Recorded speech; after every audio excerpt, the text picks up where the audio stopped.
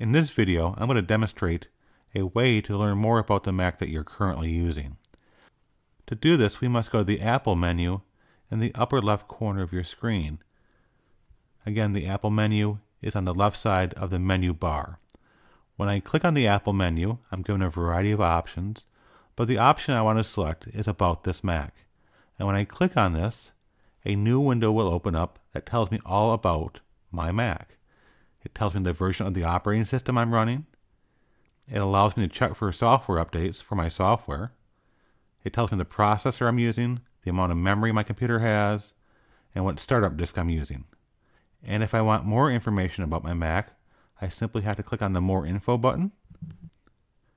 And by doing this, a new window will open up that gives me a variety of tabs, such as Overview, Displays, Storage, and Memory. So a variety of options are here. And again, the overview will give you information about your Mac, the processor, memory, graphics. This is where you can find your serial number if you need it. And you'll notice mine has been blocked out. What software you're using. To learn more about your displays, simply tap on the Displays tab.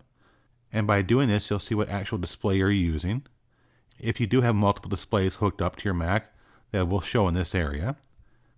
Storage will show me the amount of storage I have remaining on my Mac, and it also tells you how much storage is being used by audio, movies, photos, apps, backups, and other.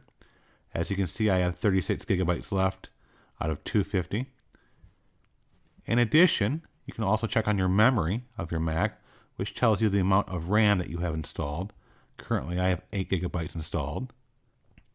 If you want additional support, you can go ahead and get this as well from this window by clicking on support, which will take you to user manuals and help centers and a variety of other things. And the service tab will talk to you about servicing your computer with things like AppleCare as an example. Now before I conclude this video, I do want to go back to the Overview tab one more time. And you'll see within the Overview tab, you also have the Software Update button, but you also have a button that says System Report. If I click on System Report, you can get even more detailed information about your Mac. So essentially, in order for you to know more about your Mac, you simply go to the Apple menu button, you press it, and go to About This Mac, and you'll learn a lot more about your Mac.